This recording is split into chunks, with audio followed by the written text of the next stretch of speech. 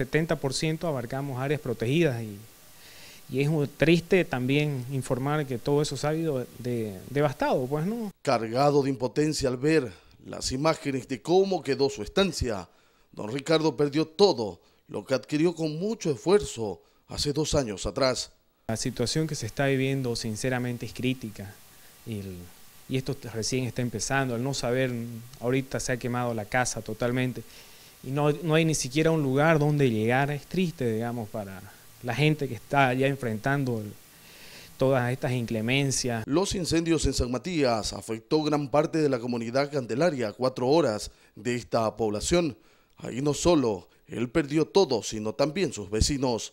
Quiero hablar en representación de los ganaderos afectados, ya que es una zona ganadera y al ver ahora no saber qué hacer ante esta situación preocupa, ¿no? Por tantas cuentas, los trabajos nuevos que hay que hacer. Los daños son incuantificables y ahora espera que las autoridades pongan su atención en esta zona de la frontera con el Brasil.